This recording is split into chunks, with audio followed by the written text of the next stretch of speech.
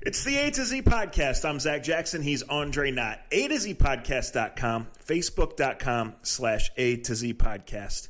At Akron Jackson, at Dre Knott on most of your favorite social media platforms. We get here, we talk sports, we talk life, we venture into mature slash immature subjects, and we often say four letter words. So if that's not for you, or if there are kids around, or if you're in a work environment, we don't want anybody to ever get in trouble for listening to A to Z.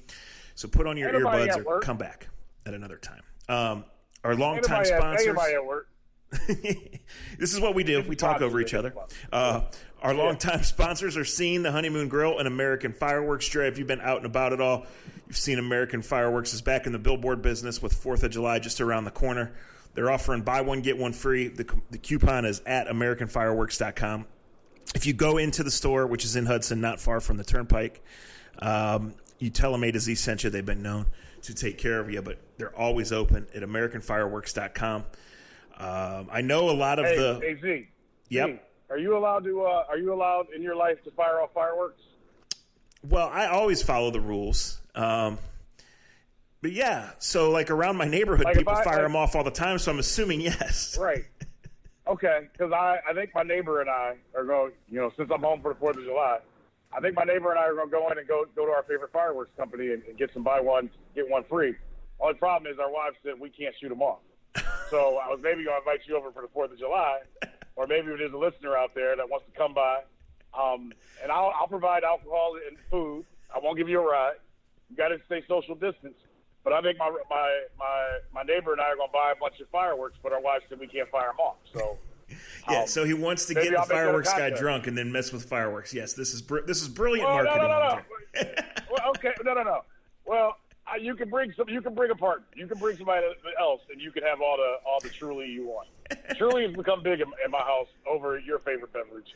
I don't drink any of that shit. I'm I'm straight to whiskey at this point in time. As you can see, I need a podcast that's going to make us laugh. I'm going to be completely honest. Um, so go ahead with the, get the sponsor, Scene Magazine. We appreciate and we love you guys. Please give Scene Magazine a, a, a read, a call. Go to scene.com if you can, if you're looking for stories. Um, they had a great endorsement from Russ Mitchell from KYC uh, a few weeks ago that, uh, you know, no news is bad news. We need to pay attention uh, to the news that's going around us. The scene is doing its best in a very difficult time uh, to continue to give us news that's new, uh, that, that informs us. And right now, being informed, I think, is one of the most important things you can do to yourselves in 2020. Just my endorsement. Yeah. Um, so like almost all of the fireworks displays are canceled, right? For for Yeah. safety reasons, uh, and I think even beyond like the virus reasons, um, authorities are stretched out and budgets are stretched out, right? So You ain't lying. yeah, so like uh, that's just how it's going to be. So American fireworks is, is where you have to turn. You got to figure these Fourth of July celebrations are going to be home, like we've been home. Um, last week was hundred days since sports shut down. Yeah, yeah. It's amazing, man. Um, you know, we've we've marked these days. I know the hundredth day. I want to say was last Wednesday or Thursday. It doesn't matter. Either way, it doesn't matter. Um, and we've tried to mark this, and we've tried to stay positive, and, and I think we will continue to do that uh, as these leagues try to. But you know, some of the numbers about I think, and look, neither one of us will ever, ever, ever try to say that we're an expert upon anything if it doesn't have to deal with um, food and alcohol. But I just think there's so many questions still about this virus. I know some people, it's been, I mean, let's be honest, over 100 days, it's hard for any of us to keep concentrated upon one thing or to even keep one story straight. Um, and I think with this virus, it, it, it's showing that. And the closer we get to thinking that we're getting sports, um, the more questions still haven't been answered, Zac, to be completely honest. Sure, We I, can talk about, you know, go ahead. No, I, I think you said it right. I mean, I think by now we all know that it's clear that we're going to have to live with this virus to some level, right? No matter where we live, Right. even here where we've been very fortunate that most of us don't live on Yeah. top of each other, right? Um, Yeah. However, that being said, you have to respect that there's going to be complications getting sports back at every level, right? And, um, you know, as much as we've talked publicly and privately about admiring the NFL's gung ho, we're going to do our off season. The fact is, in four weeks, they're trying to get 90 players together to hit each other on every play and 100 plus staffers to be able to be there, and that's going to be complicated, right? It ain't Uh, happening. Pat. It ain't happening, Captain. I want it to happen. I want it to happen. But think about what you just said. We are going to have to live with this. You're absolutely right. But the Petri Bowl of putting out what 100, 200 people in a small area, and let's be honest, in a football training camp, you're going to be in a small. You have to be in small areas together. To like I heard someone say the other day, um, maybe it was today. Someone say, "Well, you know, these guys don't need all those camps. They play football their whole life. You know, once they get together, they'll get rolling." No, that's not how it works. No. Um, football, I, in my opinion, and we've talked about this with offensive line play in normal years. Zac, you and I have had great conversations about how the lack of hitting uh, throughout camps and how they've tailed camps back, and we're okay with that. We understand why that's happened, but how that changes how the running game takes, you know, three weeks, four weeks into a season to get going. I just, I, I don't know. There, are, I'll admit this, and I want this to be a positive podcast. There are days where I wake up and I feel like we may not see sports as we know it in 2020. I hope I'm wrong. I pray I'm wrong, but I just don't see how you're going to put. I mean, Zac, high school guys, quarterbacks are going through drills right now, and they're not allowed to hand off the ball to the running back. right. I mean, Sure. we'll see. We'll see. Right. Right. Um, you know, I, there's been full days, Dre, where I've just said I'm going to stay away from Twitter. If I have to send something or if I have to do something work related to post, I'll do it, but I'm staying away. But yesterday I wandered on at midday, um, frankly, because golf and NASCAR were under a rain delay at the same time, and I I wanted to see what the update was, whether it was a good time to take a nap or not. And I saw that uh, the commissioner of baseball had sent a letter to the Players Association. We're st- in baseball, we still send letters in 2020. Great. they might as well fax it to him, right? And, and, and I'll just say this: I've said this too. Like throughout this whole thing, since it started back in March, it, we record this on on early Monday afternoon. Um, I've tried to make Monday morning feel like Monday morning, right? Like I've intentionally saved a work, saved a task of some sort, a call to make, whatever it may be, so it feels like I'm starting my work. So I get up and feels like I'm starting my day. But Mandra, you start clocking off these Mondays, and you you just wonder virus or you know virus complications or no virus complications, which as you mentioned is over our head. Like now we're the next week's the last week of June, and there's still no fucking baseball. Right. And we still don't know how any like the, the baseball thing has been a catastrophe. We've talked on this podcast about leadership or lack of leadership. Um, that it took this like what kills me is it's taken this long to get to the like nothing's changed really. I mean, obviously we've had outbreaks in Cal in, in Arizona as well as Florida, but some of the, the little things that they've gone back and forth on, you can't tell me um, that if you want to get something done, anybody that's negotiated to get a car, negotiated to buy a house or build a house, negotiated anything, you would know if you want to get something done, there are ways to get things close to done, right? And Major League Baseball's done nothing of the of the of they've done nothing of that. It's obvious that some owners don't want to play baseball this year. And to me, why not just be just be clear with that and say it? I, I, we would appreciate that more than the bullshit negotiations that we've seen or heard. And obviously, I don't know all the negotiations. I don't know everything that's been said. Uh, I do know that when you want to get something done, and I, I understand that we're going through a pandemic, but why did it take until last week, uh, the what the third week of June, for the actual commissioner to get face to face, six feet away from the guy that he was negotiating with? If it mattered, they should have been negotiating face to face and had this figured out a month ago, Zac. Like I just I'm I'm so damn frustrated. I love baseball. I get all the jokes. I get when Zac says, "Here's the the A to Z, 60 seconds, you know, of baseball."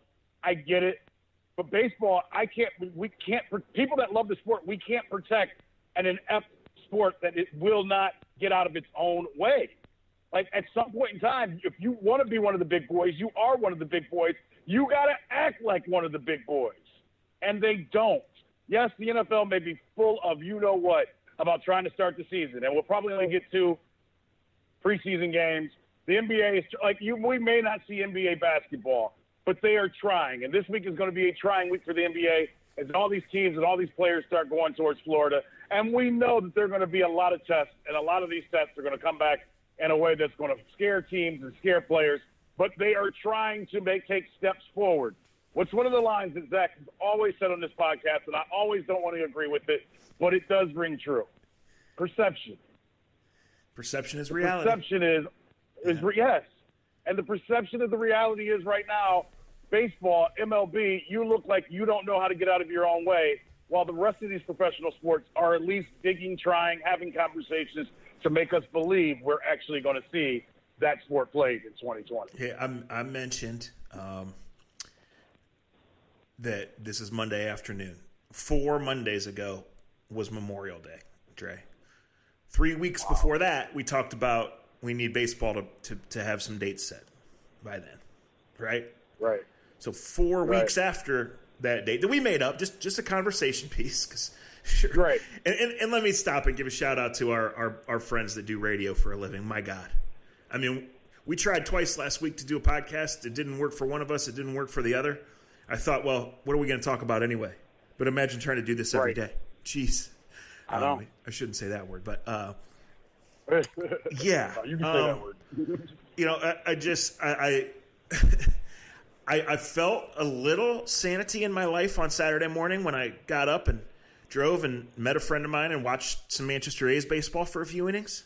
You know, um, I, I know they're back playing at, at the lower levels for the most part, and that's been signed off upon. Um, Canal Park has opened its gates to to allow some of the local teams to play, which is good. I know out in Youngstown, uh, they did the same thing at, the, at where the Scrappers play. Uh, Eastwood, the name escaped me for a second. Um, but the gates at Progressive Field remain shut, right?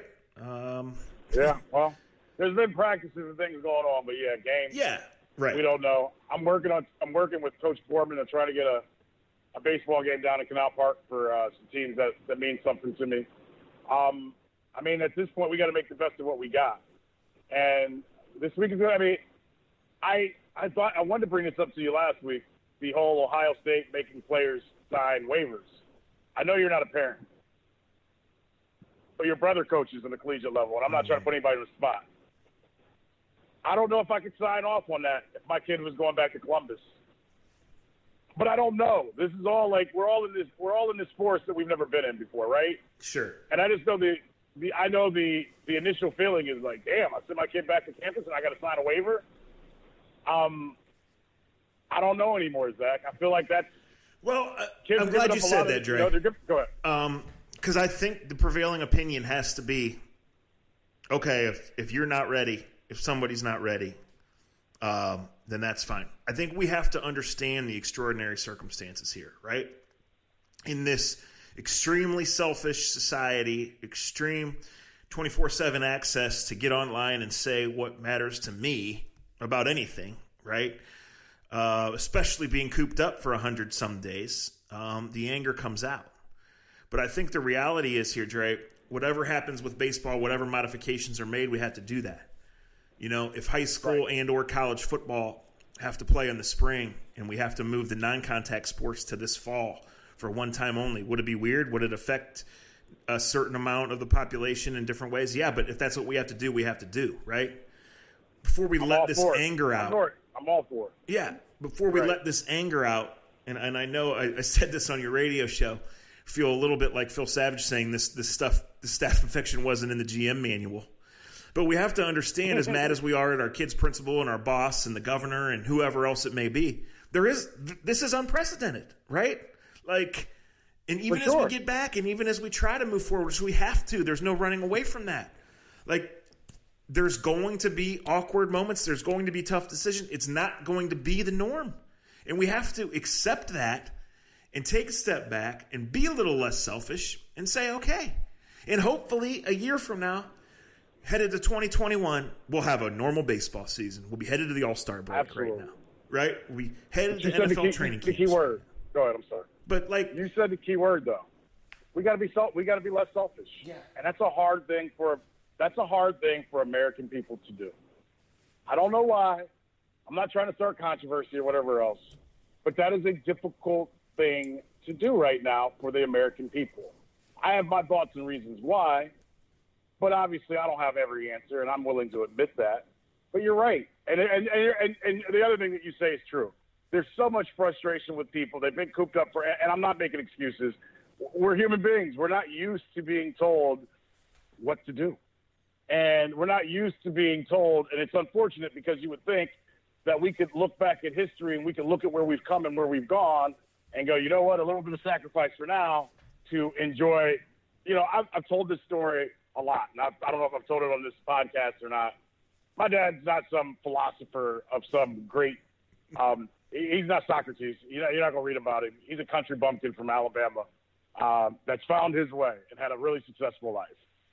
And I had to think about this as we were doing Father's Day. And shout out to uh, Mr. October, my favorite Reggie Jackson. Fuck the one that uh, that played for the Yankees. I'm about to Manchester, uh, Reggie Jackson. Um, you know, my dad told me when he dropped me off at Kent State, he made it real short and real simple. Sacrifice the next four or five years. My dad knew I wasn't going to graduate in four years. That was my dad being well. Scout, he scouted me out pretty well. He knew, and he was right. But he just said, and he and he simplified the process for me. He was like, dude, I know you're going to do stupid shit. I know you're going to enjoy your life, but please be willing to sacrifice most of who you are and what you want to do and what you think is cool. Sacrifice the next four or five years of your life so you can do whatever the hell you want. You can have more fun. That advice, Zac, you know my dad. That's about as deep as he gets. But it was very apropos, and it was something that actually stuck with me and it got me through. And then my mom was pissed off by the time I was 30, still not married, still didn't have kids. And I just pointed to my dad and was like, Dad said, I give up four or five years of my life. I can do whatever the hell I want, and I'm doing whatever the hell I want. All very minuscule compared to what we're talking about. But the point was, it's okay to sacrifice a little bit now if the payoff later on is going to be big and worth it. And in my situation at 42 years old, I can tell you, I still I don't remember much. But I remember at 18, my dad dropping me off, telling me that, and that stuck with me when I was getting ready to do some dumb shit back on the campus of Kent State. we're, back. We're serious. We're back in that mode. Like we got to sacrifice a little bit right now. And if we sacrifice a little bit right now, and I know it's hard, we're 100 some days into it, but we'll get back to normal hopefully, and and all of this will be a blip on the screen. I don't know if everybody's capable of doing that though, Zac. Hey, potential sponsors, if you're listening, we got a new segment. Some dumb shit I was about to do by Andre. I could do. I, we could. We could do. A, we could do a part of the podcast every week where I can talk about dumb shit. I almost did. Twenty-two summers ago, we were sit, parked under that bridge on the west green at Ohio University. I was getting dropped off of college, and my dad said, "Wash your hands and marry a rich girl." wow. You listened. Did not work thought out. wash your hands would be like one of the three top most talked about subjects in the world. I almost said trending topics, but in 1998, if you just said trending topic, nobody would have known what the hell you're talking about. Right? Right. Right. Right. I knew Reggie was on it. Why, He could have, you know, in 20 in 2020, he could have thrown there, wash your hands and wash your ass. Yeah, I mean, wash your hands. Like he used to tell us that all the time. Like he's very my dad's very matter of fact, right? And yes, uh, lots of wisdom, but you know, not long winded in it. And one time, I don't know, this was around the time of the, of the infamous tire changing story. but he, he kind of sat, me and Brody were both there. I don't want to say he sat us down, we were somewhere. And he just said, like, we've been very fortunate because you guys, you act dumb, but you're not dumb you know you're good people and, and you've earned the respect of people around here and, and wherever you've gone away to college and in your chosen professions and whatever and like you know just just wash your hands and be good to people and like you'll you'll continue to just you know do all right. And it was like at the time you're looking at them like really? That's the best you got? But you get a little right, older. right. That's the pump up store? Yeah.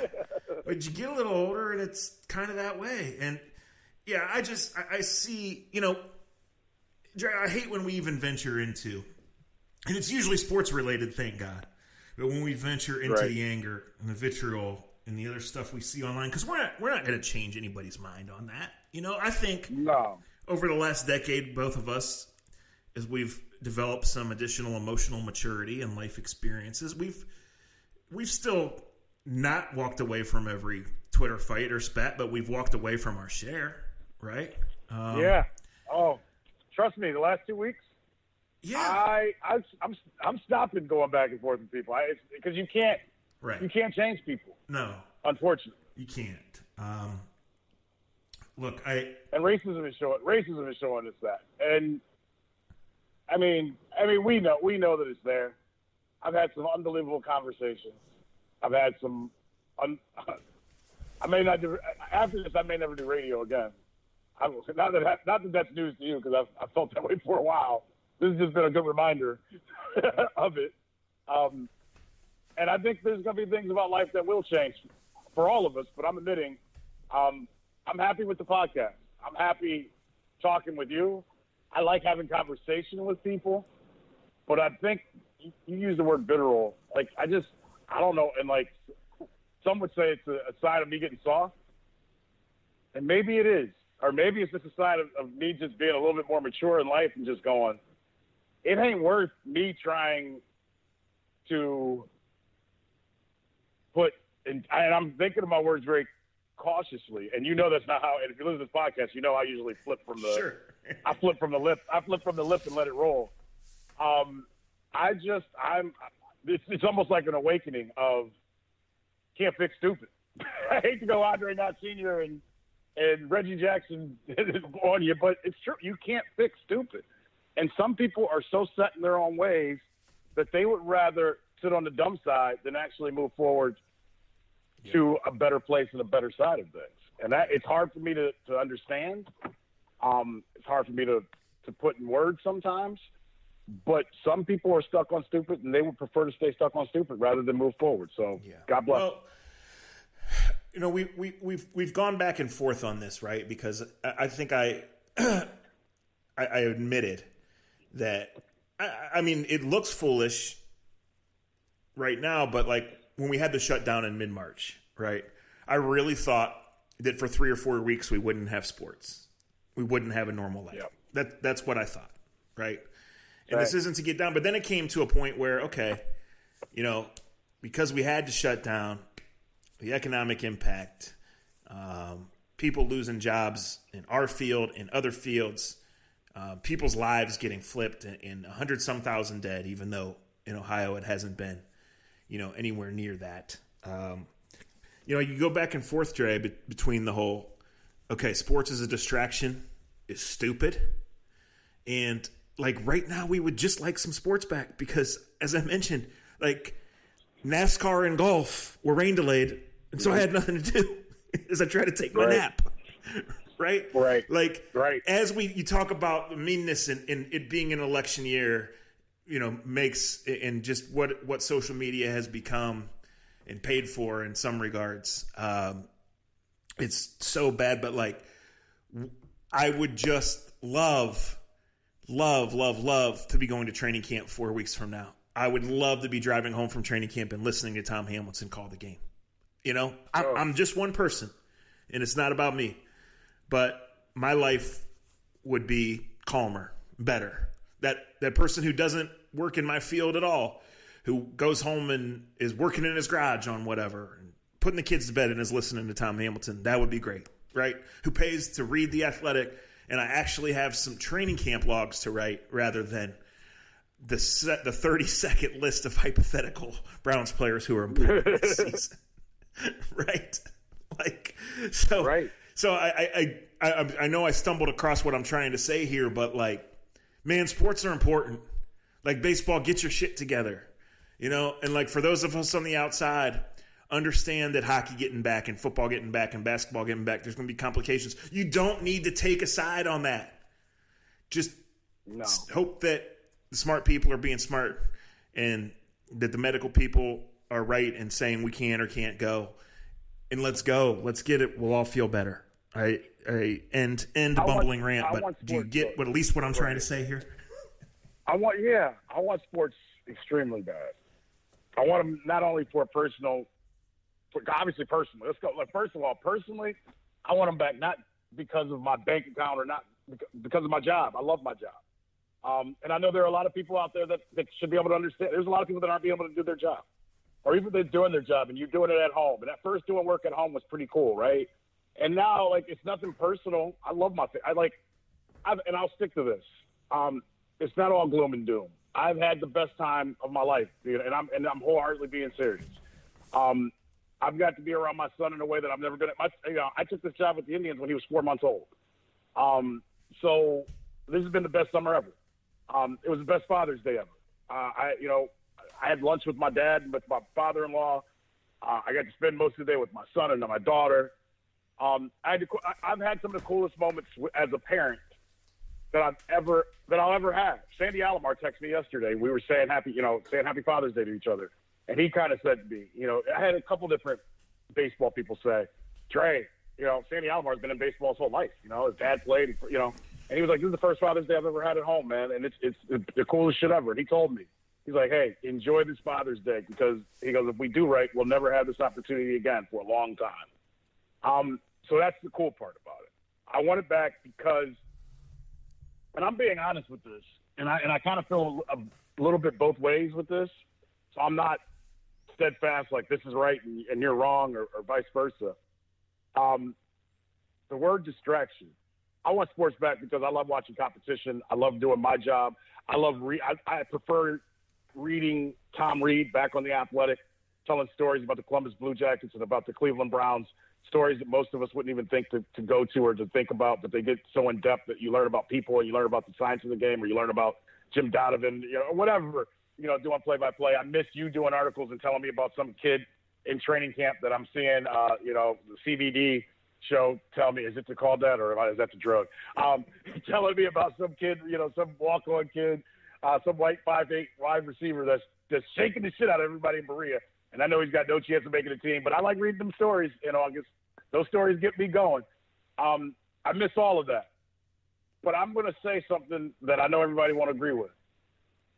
There are times, Zac, where I'm like, you know, we need the distractions because all of us, I think, um, what we would when we would usually be watching Sports Center, when we usually be watching the eighth inning of a game that doesn't matter, when we usually when we watch an NBA playoff game that doesn't really matter to us, but it's playoff game, I think all of us are getting just overrushed with with real world news.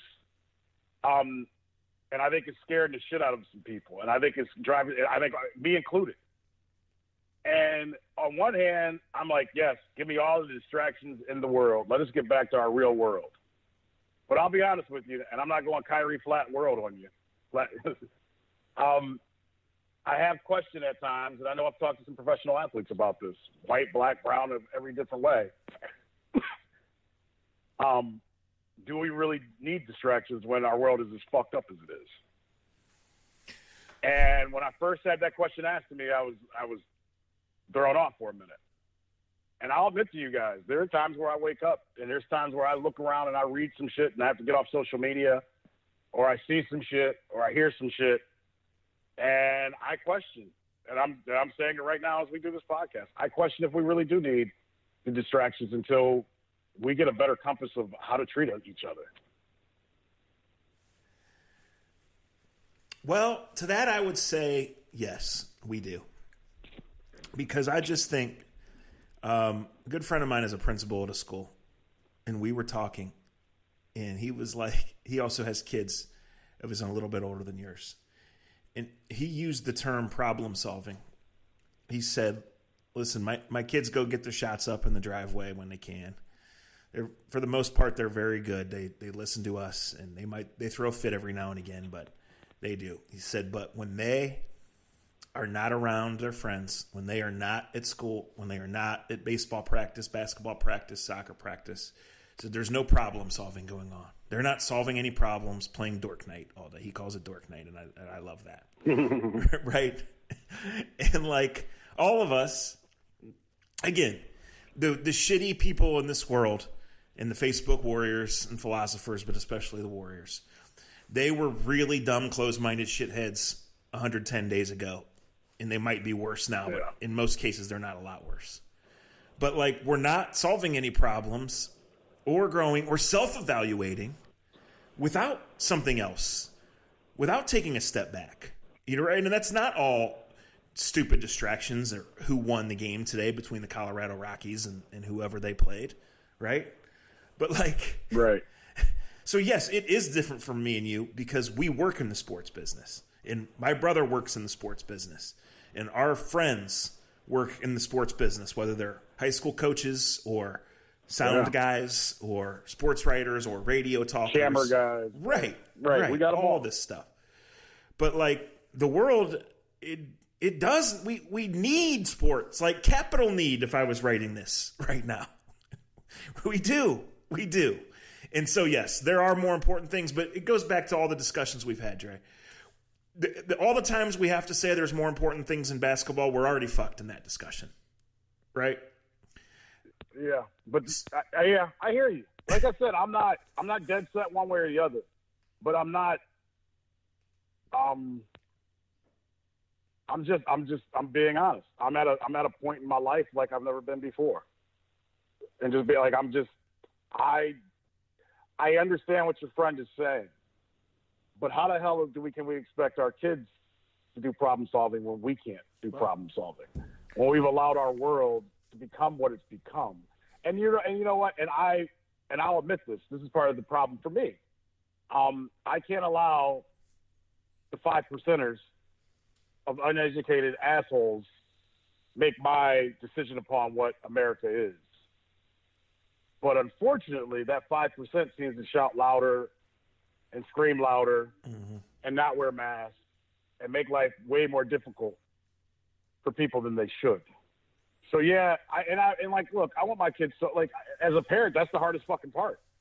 And as a parent, that's why I have to say at, at, at, different points in time, it's like, yeah, I want them to get back to their normal life. Yes, I want them to socially grow. Yes, I, I want my son to hit home runs off of somebody else throwing them and not from me. Yes, I want to see my daughter be able to, to do gymnastics and things um, and, and continue to be this brilliant brain that she is.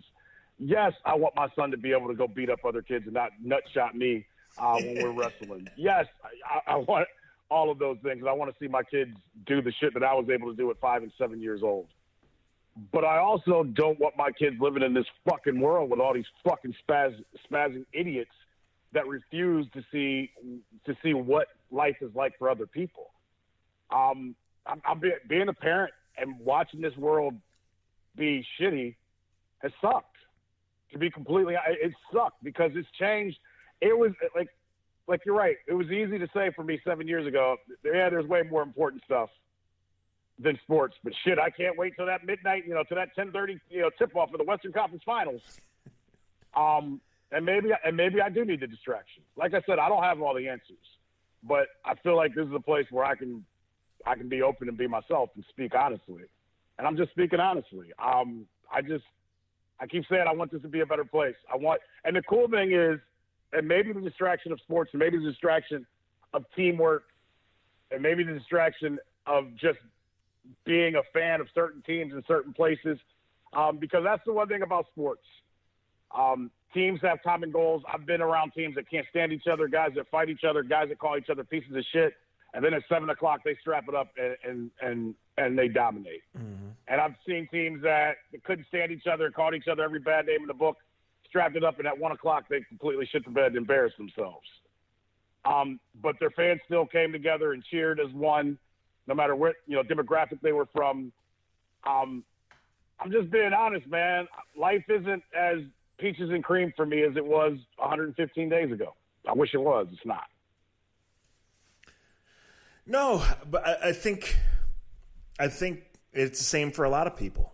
Um, I think if we didn't if we haven't used this for some sort of reflection, right? And we've been talking about this all the way through. Um, right. You know, I I've been working on this article going way back, and you guys have um, have, have, listened before. Uh, I've called Massillon McKinley game the, the Super Bowl of people watching for years, and I mean that, right? And I grew up where my dad and grandfather worked in Massillon, and Massillon was 15, 20 minutes away. And when you go there as a little kid, and Dre's talked about playing there as a teenager, like it's unreal, right? Um, yeah. You know, if you've ever been to a Massillon McKinley game, even when you've gone on to to be around other levels of football, like it's just something to you, right? So anyway, long story short, I thought they were going to win the state championship last year, so I started kind of working on this story like what's it going to be like? Because if you know it all, like Paul Brown was there and Earle Bruce, not Earle Bruce, yeah, Earle Bruce was there. Um, my brain is a little bit mush here on, on this Monday. Morning slash afternoon. Anyway, they they once beat Kent State in a scrimmage forty seven to nothing, but since the world changed and there's actual playoffs, Massillon has not won a state title. Well, when they didn't win the state title this year, I felt like I didn't have the story. Now, am I going to have to sit on it for 50 years? Am I ever going to write it? I don't know. so, fast forward, I have hours of research into this. Hours. Uh, I've mentioned my Massillon football book on here joking, but I, I have enough, right? I do.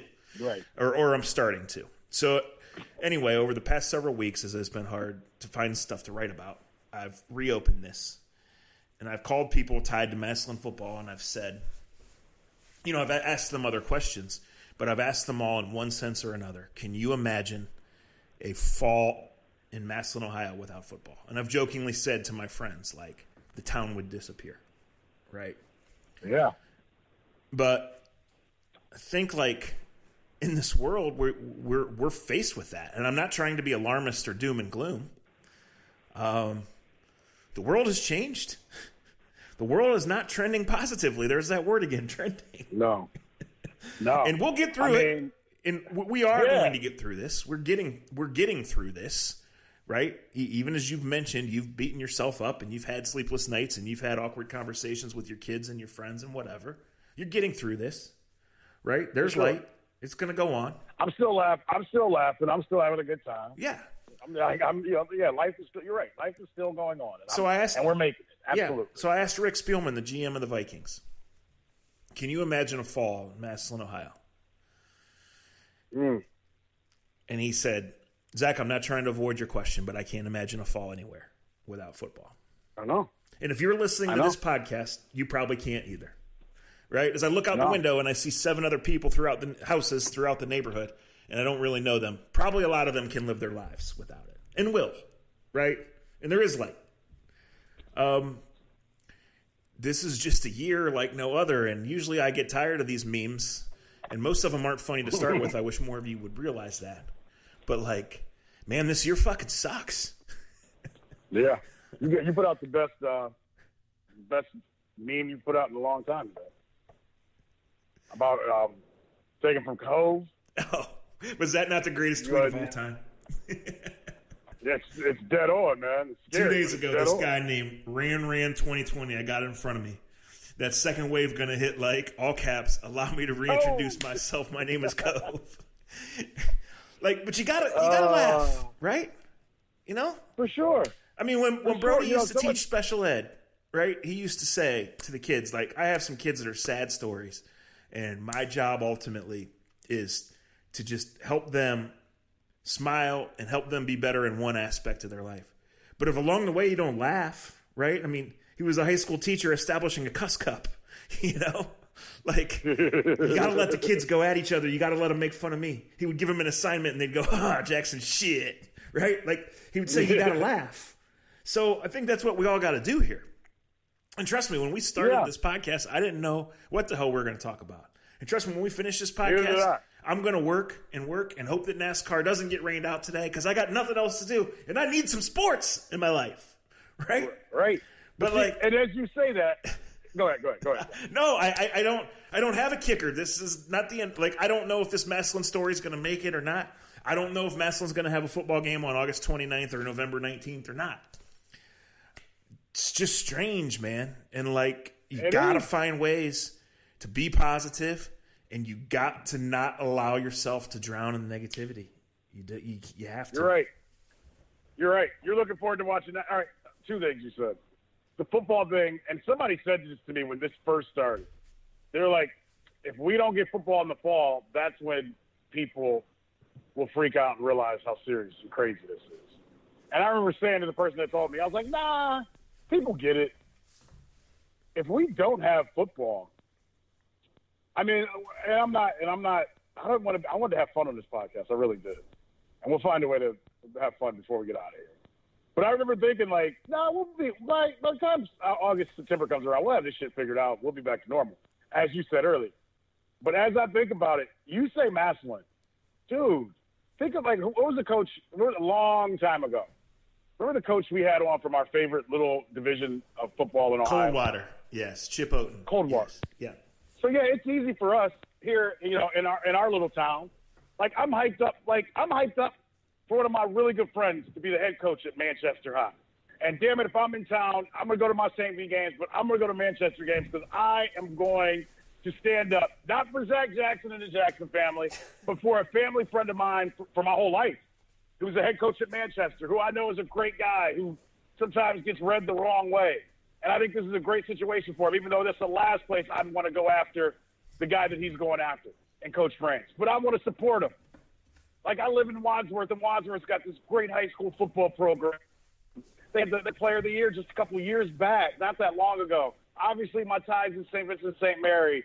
I could go on and on about high school locally and what it means, and me watching kids – that I know in my neighborhood that go to Highland and they're working out in their yard and they're doing drills by themselves and they've had some of their buddies over doing drills.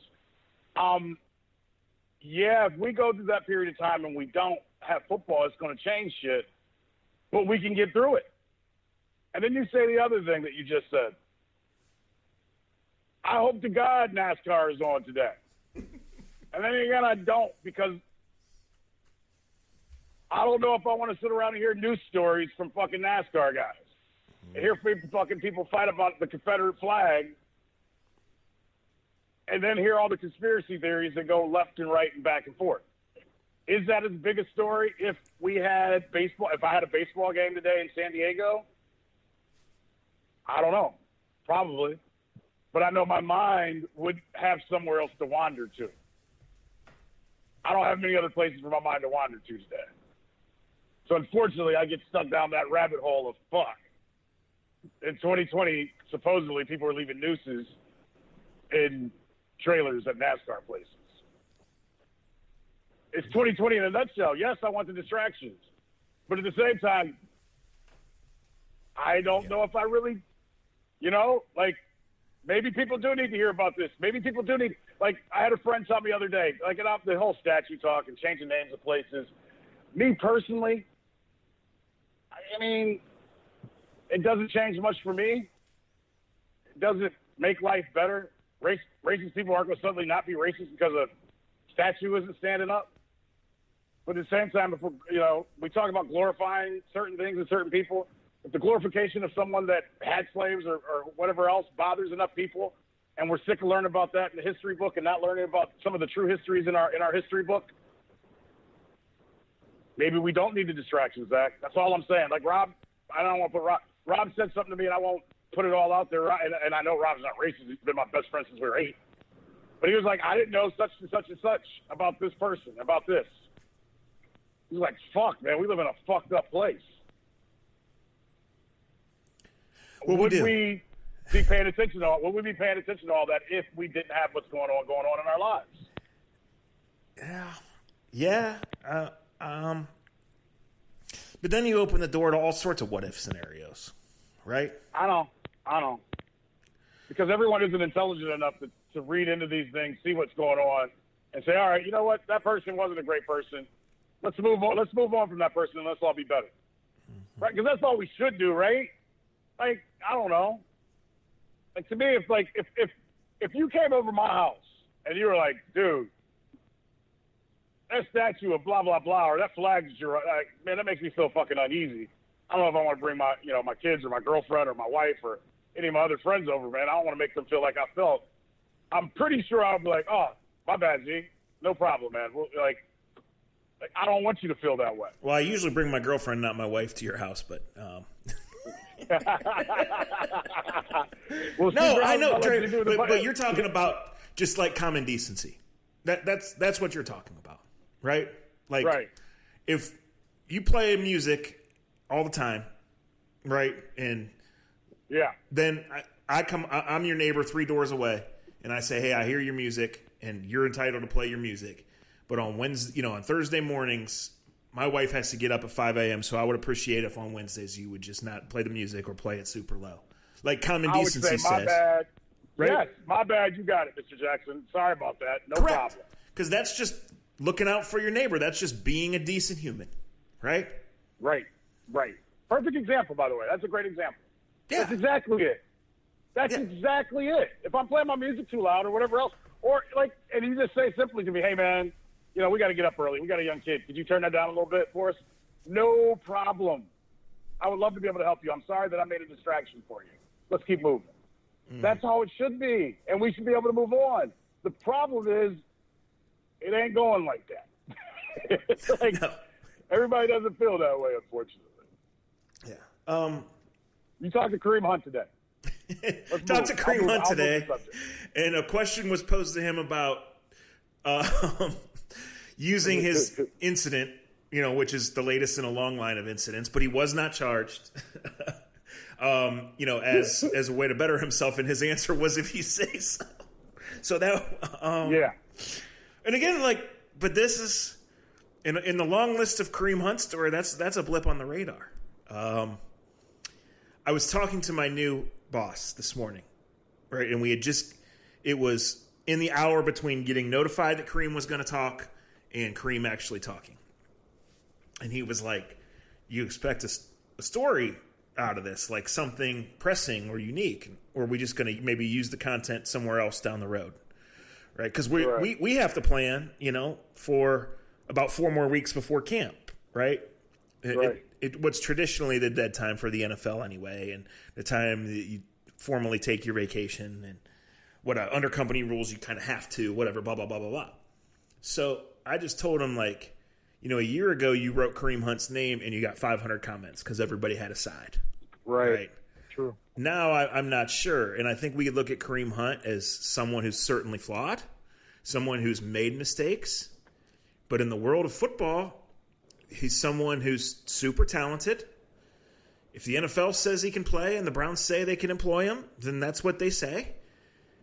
And he's a year away from free agency, where 31 other Yeah. teams will have to look at Kareem Hunt's character and baggage and past and judge his future. Right. And I don't know. He might fuck up before then. He might not. You should keep him until he does. Hey, man. Um, speaking of, I'm glad that, that's a good way to go with this. He, like you, you, you wrote about Chubb in the running back situation in Minnesota. I want to say a week ago. You wrote Yeah, about about a week ago.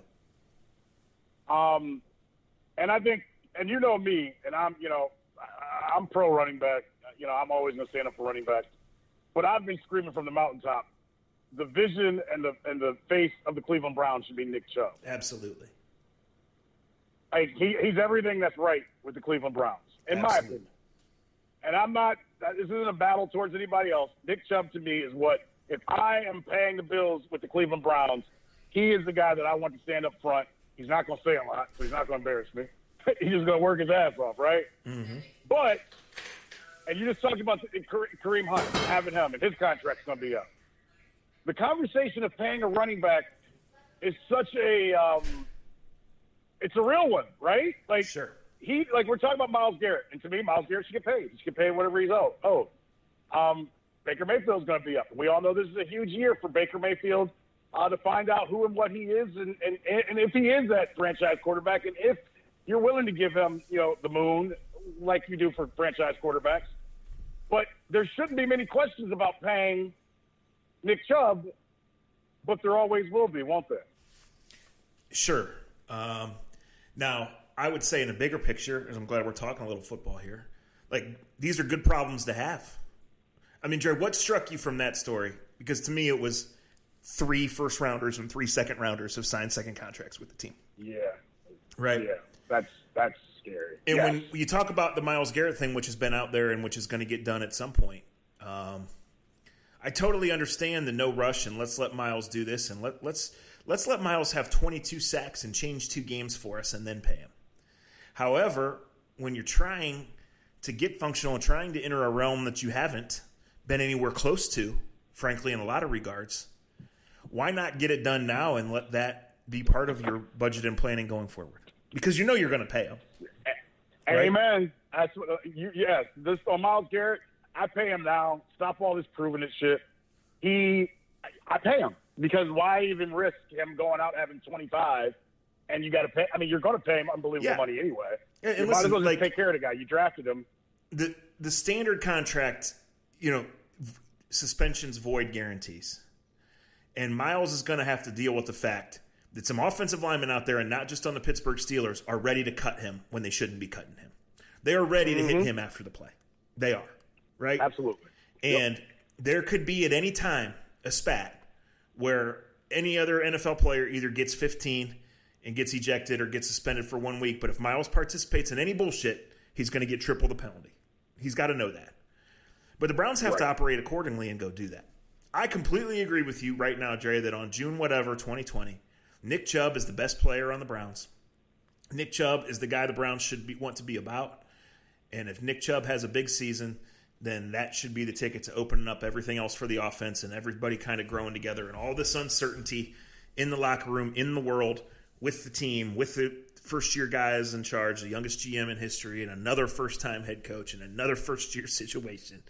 Right? Like if Chubb has a good year and he drives things, things should be good. Now, over time, maybe Myles is your best player. Over time, you got to get other things right, and, and all these things got to mold together, you know? Um, right. But Nick Chubb is just really freaking good, and I would pay him and do it, and probably that means Kareem moves along. Um, sitting here talking about it, you know, you probably Kareem is always one strike away, and the fewer of those guys on your team, right. the better, right? Yeah, I hate agreeing with that, but you're absolutely right. Yeah, like it's true. It's true, especially if you, especially if you can put somebody if you have somebody better. I mean, let, us all right, let me say this: real world, real world talk. Real yeah. world talk. We want Kareem to succeed. We do, but in reality, like you said, I can't put my fortune and put everything down on trusting him day in and day out. So mm-hmm. no. Like good team, like coaches and GMs and people that work for organizations, they forever live in fear of being woken up at that th- by that 3 a.m. phone call from the cops for whatever yep. reason, yep. right? But the teams that are the best from year to year those coaches and GMs sleep a little better. Right? It can happen to anybody. No doubt. It has happened to anybody. And what the kid from the Giants and the kid from where, where was the other kid from Seattle? They had yeah, all those yeah. outrageous charges against. They might stick and they might never play again, or might we, right. we don't know, right? But like the fewer that shit you have hanging out there, just generally the better you are, right? better chance you got of being successful. Yeah, yeah. yeah. Um, we'll see what happens with the Browns, and we agree that there's enough talent for them to be interesting, tantalizing, whatever other adjective you want to use right now. But the, one of the problems with these regime changes is you come out and you say we want smart, tough, accountable. Well, until you get the guys together and go through a year, a normal year, even one without all these things in the world, and you see who really is smart, tough, and accountable, you really don't know who you want on your team and then who you'll tolerate having on your team. So right. I think the Browns could get hot offensively and make the playoffs. I really believe that. I think the Browns could also be six and ten. We'll see. I agree. And just going off of that, um, just overall, I guess the other thing I want to get at is after seeing what the Rams did. Remember, we had the conversation about how much running back is worth. Mm-hmm. And I, I hate talking. You know, I hate. I'm not. A, I hate talking money, and I hate because some people just see certain numbers and they lose their mind. I don't know why. You're, it's not coming out of your bank account. Um, I think after you saw what happened, and I can't think of his name right now, the other Georgia running back that's with the Falcons now. I can see him with the G. Um, Todd Gurley played for the Rams, and then yeah, Gurley.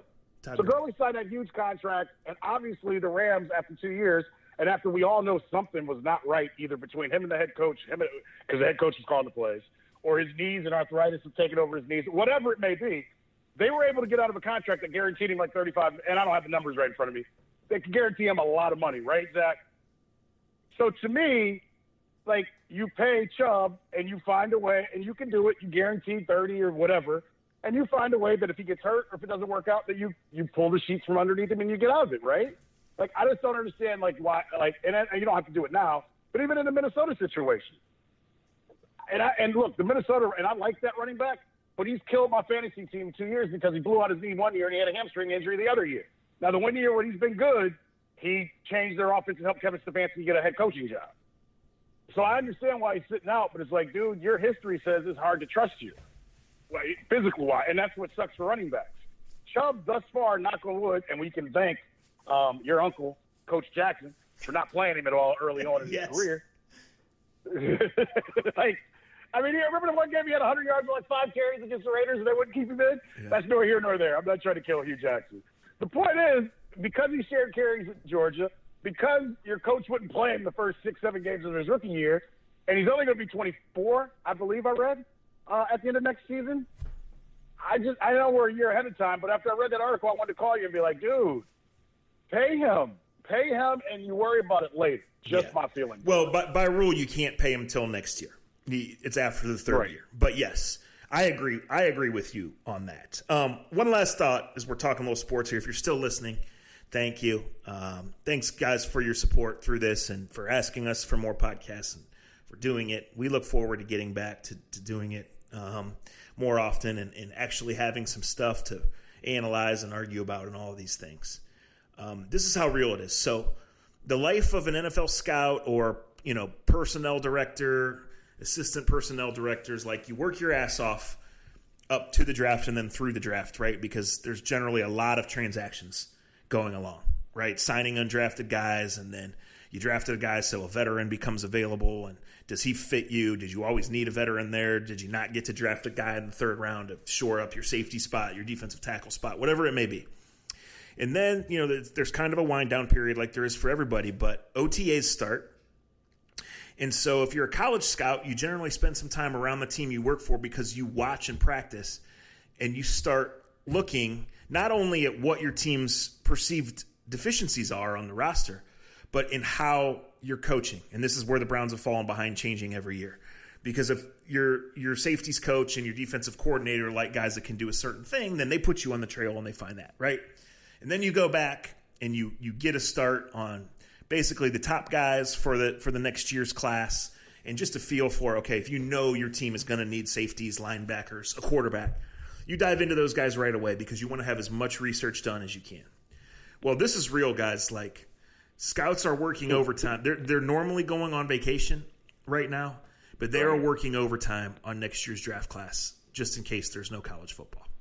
This is multi- This isn't to right. single out one scout Ooh. or one team. Ooh. This Ooh. is multiple guys that I've talked to that are saying, you know, not well. Obviously, we weren't going on our big trip to such and such place because of COVID. However, I'm not playing golf four days a week or I'm not taking that long weekend back visiting my parents because we are grinding this stuff because we have to be ready. So, right, anything's in play. Don't sprain your ankle, that's jump to conclusions either way. That's all I got. Right. No, that's crazy. I didn't even think of that. Yeah. I mean, we watched that with the baseball draft, and I know the baseball draft, and we make fun of it.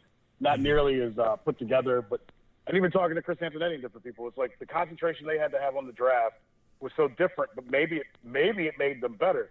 But now you just said something that I hadn't even thought of. What if you have to draft again in April without barely seeing guys play? Or yeah. what if, like, I mean, just and I don't like you said, I'm not jumping to conclusions spraining my ankle. What if you have to recruit for a kid that doesn't play his senior year in football? Um, you're gonna find you're gonna find out if your scouts are as good as you think they are in all sports. Well, you sure, you just you you got to be ready. I mean, look, we said this all along to the seniors that that lost their senior season, uh, you know, there's just nothing you can say except sorry. Um, it'll always stick with you. But to anybody else still playing, like this is the ultimate lesson that you got to be ready, right?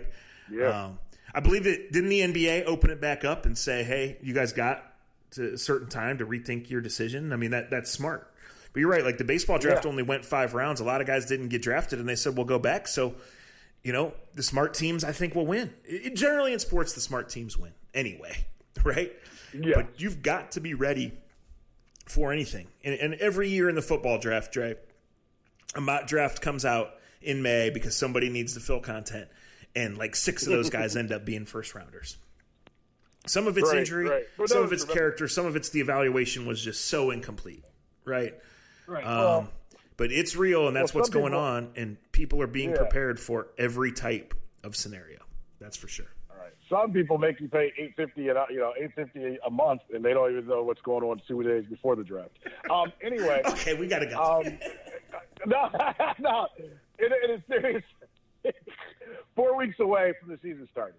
Um, I heard Jake Trotter on the Ridge show earlier today uh, when I was driving out to take care of some business I had to take care of this morning. And he made a good point, and I'm curious from your point uh, of view because even for me, I'm kind of in, in this crazy boat. If we get back, do you and you talked about talking to some of your bosses? Do we still have any idea how you're going to cover or how you're going to be allowed to cover or what we're like? What do we? Do you have any idea? I guess of how coverage will work and how getting players and access will work, or are we still in the dark completely on that as well? No, a week and a half, two weeks ago, we got a memo from the Professional Football Writers Association that basically said the standard do this, do that. We hope you're well. We hope you're healthy. Um, and the bottom of it was we we have no we're working, but we have no clue how it's going to go. Um, we're not going to be in locker rooms. Are we going to be at games? No. Um, are we going to be able to fully observe training camp, even if it's from 150 yards away? I, I don't know. You know, will there be any in-person interviews if it's one-on-one and, and you sit eight feet away? I don't. I hope so. Uh, I don't know that. You know, um, does it make sense to go to games if there's no in-person interviews? If you're taking on risk, right. We we don't know any of that. And again, like, right, it just comes down to guys like there's going to be awkward getting the, getting camps started. How awkward we don't know. Is it going to be worse in certain areas? Uh, we don't know because players right now are spread all across the country, um, and are going back to wherever it is. We know the NFL is basically in all four corners uh, of, of, the country. Um, you know, I, I, don't think that five players testing positive uh, coming back shuts anything down, but keeping no. guys contained and, and getting a plan that meets all the standards and keeps people safe over the course of a five week minimum, maybe more like seven or eight week training camp. We'll see. Yeah. Yeah. Um, I needed this podcast. And I, I know some people won't get or like everything that was said, but I just feel like if you don't get some things off your chest, you're not going to be a healthy person. Um, I'm not that I'm the most healthy. I'll just stop and get some beer now. Um, I just, think you know, like like I wasn't trying to get gloom and doom with you. I want sports back. I want some normalcy back. I really do. Um, I if we knew more about this virus, like five people getting it wouldn't be a big deal, right? If you wouldn't know that everybody would bounce right back. I mean, we all know, like we see 98% or 99%, eh, you know, people recover. But then you all it takes is one other story of hearing one person or a young person. Like I don't know, do you know D.L. Hughley is? You may or may not. You probably do and don't realize you know. He's yeah, I know the name, but I, could, I can't put a face to it right now. Yeah.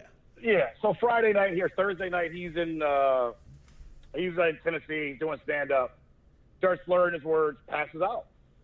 Didn't know anything was wrong with him. You know, and everybody thought he died at first. Everybody thought he was having a stroke. And he goes to the doctors. They run all the tests. They say he was dehydrated. What they say about all people with a lot of money when they, you know, when things don't go right. and then they said they did a COVID test. I'm glad you picked that up. Um, but then they did a COVID test and he came back positive. And he's asymptomatic, symptomatic, and he didn't have any idea. And he's like, kind of like, I've been fine. I've been doing my radio show. I came and did this, and now they tell me I've got COVID. And it's like, well, what do I, you know, like, and then you see pictures of what people's lungs, what would have happened to some people's lungs like I read a tweet earlier today. We keep hearing people say, oh, "Big deal if, a, if an athlete gets it, um, you know, they won't die from it." Well, most likely they won't, but every 10, 20 percent, there's one that pops up and it really fucks up their body, and it fucks up their body for the long term. Um, I just we said this 50 days ago. We said it 100 days ago. Just wish we had more information and knew exactly what it would do to every person, and we don't have that. Yeah, um, we don't. So we'll see. We're, we're going to live with it. We know that. And the unknown is the scariest part. Uh, we thank you guys for listening. As you start making your July 4th plans, we hope you hit up American Fireworks. Um, we hope you're telling your friends and family as we do get hopefully some sports back. Um, people get back to their normal routines to listen to A to Z, to subscribe to The Athletic. Um, and hopefully Andre's smiling mug will be back on TV more often sooner than later, but um, I don't know. I don't know shit. None of us do. American Fireworks. I'm coming. I'm bringing my. I'm bringing my neighbor. Uh, anybody that don't like drinking them but like like lighting off fireworks, I'll tell you some great stories. Let me know. Hit me up. Otherwise, I got to make Zac do it. I don't know if Zac will be able to do fucking to be able to write with, a stub on one hand. I got enough limitations on a normal day. That's for sure. So, thank thank you guys for listening. Uh, maybe we'll do another one this week. Maybe we won't. We we really don't know. We're waiting like everybody else. Stay healthy. Be kind. Yeah, we're going to try to do another one this week only because this is a big sports week. I think we're going to find out a lot in the next 24, 48 hours uh, about what's coming. So hopefully by the end of the week, uh, we'll put something together. Hopefully, if we can find the time and he can stay off the golf course, and maybe my black ass will go on the golf course. Who knows at this point? Everything's a toss up at this point. Konnichiwa 2020. Get the fuck out of here. See ya.